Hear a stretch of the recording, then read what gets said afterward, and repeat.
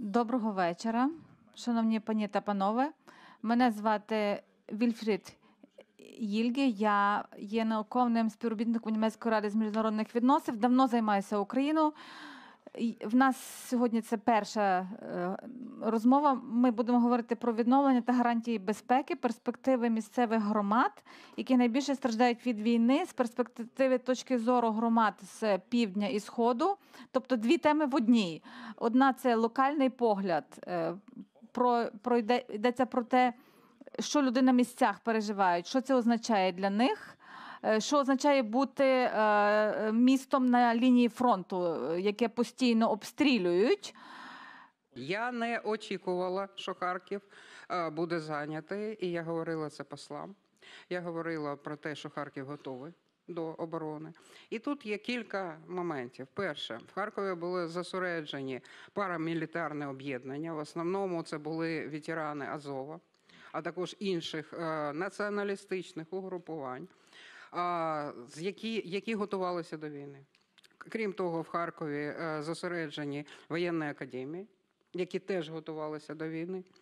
І е, було не нульова кількість людей, ну як я, як моя організація, які готувалися до війни. І виявилося, що нас активне, тих, хто активно готувався до війни, було набагато більше, ніж ті, хто були готові воювати за Росію.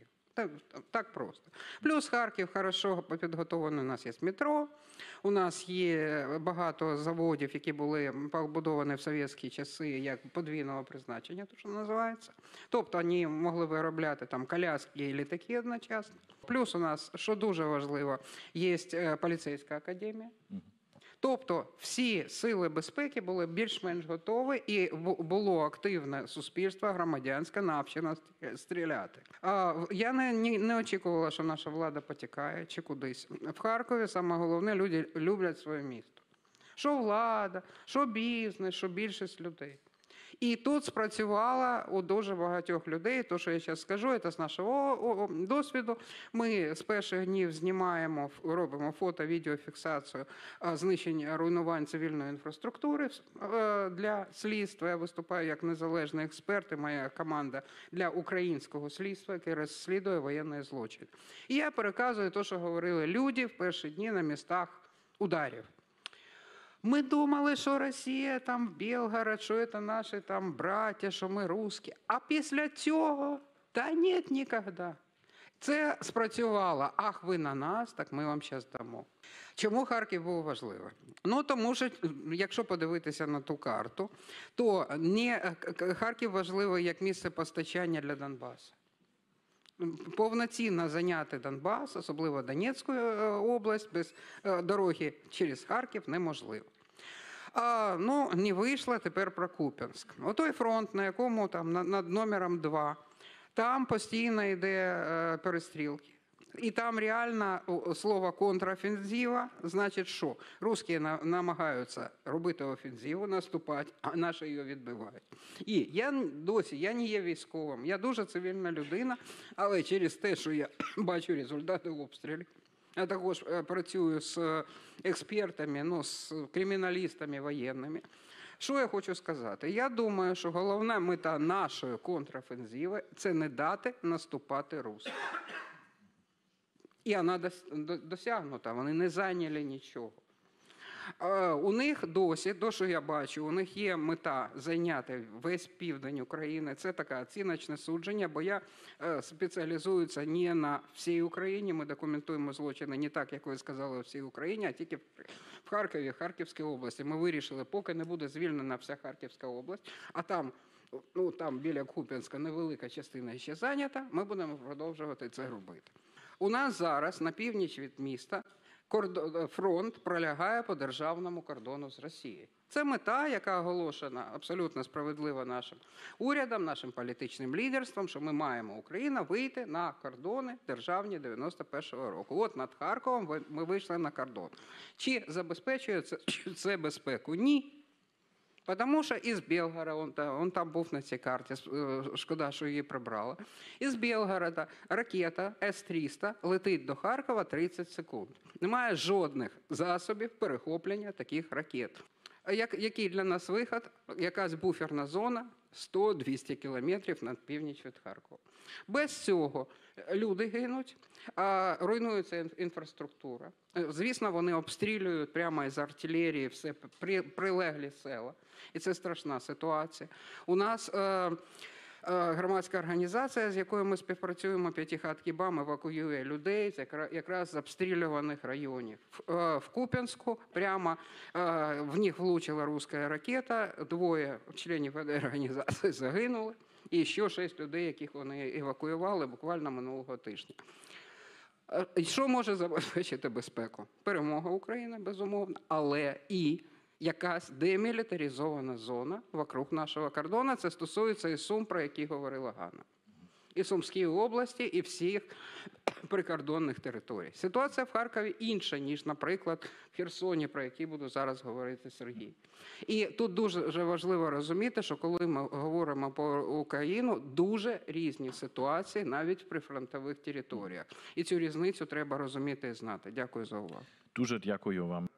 Перед тим як перейду до пані до пана Ланге, Наталя, ви хотіли ще сказати? Таку я хочу просто додати як ілюстрацію. Можливо, ви не знаєте. В Харківській області жодна дитина не ходить в школу. Жодна. Діти є. Чому? Ну, Дуже багато шкіл розбито. У нас навіть є виставка просто розбитих шкіл. Досі добивають школи. Останню школу в Ізюмському районі. Да, вона, Сергій каже, що в Херсоні те ж саме. А останню школу три тижні тому добила. В результаті укриттів нема. Нормальних укриттів нема, ніколи не було. Є школи взагалі без підвалів особливо. Тобто ховатися ніде. Е, Влада харківська е, прийняла рішення, що ні, жодні діти в школу не ходять, вчаться онлайн. Тільки знайшли в місті Харкові рішення для дітей малих перших класів. Вони по черзі ходять займатися в метро. Тепер перша в світі, я вважаю, просто організовано в метро вчаться діти. А тепер подумайте, значить, е, все почалося під час пандемії, діти почали вчитися онлайн. Четвертий рік діти вчаться онлайн. Це якась нова ситуація, безумовно, але вона не проходить без, безслідно ні для психіки дітей, ні для батьків, ні для чого. Це ненормально, це не може бути нормально. Але з точки зору безпеки це абсолютно справедливе рішення, тому що школи добивали в Сумській області недавно, просто перед початком нового року розстріляли е, школу, в якій готувалися вчителі, директор до нового року. Треба будувати систему укриттів навколо метро. От просто вкладати гроші, побудову якісної системи. Це дорого. Тут я скажу про от, що говорила раніше про інвестиції. Я мала розмову з, ну, з багатими поляками, скажімо так. І вони задають питання: ну хорошо, ми розуміємо, на що вкладати гроші в Харків зараз. Логістика війни, ну багато всього. Да, тут можна заробити. Війна закінчилася, Харків кінець світу. Ну все там, нічого. Що далі? Як ми можемо заробляти там далі? Ну ми вкладемо, що, що, що для чого? Я, кажу, ну дуже просто, подивіться на мапу. Там далі Луганськ, Донецьк, їх треба буде відбудовувати. Як ви доїдете, як крім через Харків, до Луганської області ніяк. Це знову логістичний шлях, там треба буде відновлювати цементні заводи. Та о, ми про це не думали. І що я бачу, треба більше все-таки не боятися приїжджати в Харків, в Харківську область, дивитися людям з Європи, експертам. Ми можемо допомогти. Ну, з безпеч... Ми всі живі. Хоча ми їздимо по краях, е, знімаємо обстріли і таке інше. І е, треба дивитися е, самим це. Треба показувати в якихось словах, які зрозуміли, наприклад, німецьким виборцям.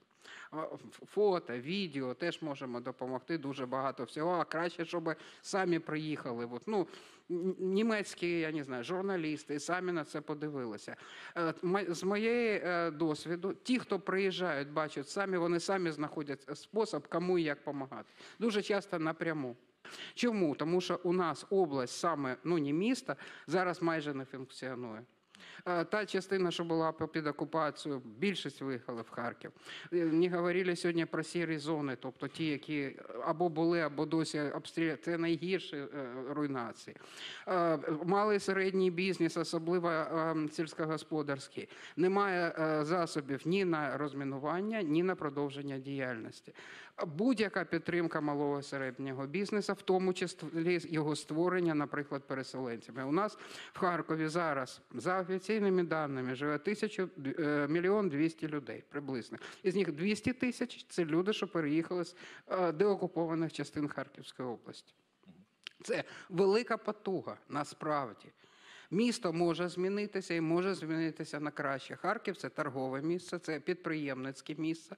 І якщо підживлювати цю підприємницьку гілку, то все буде нормально. Дякую. Дуже дуже дякую, Наталія, і дуже вам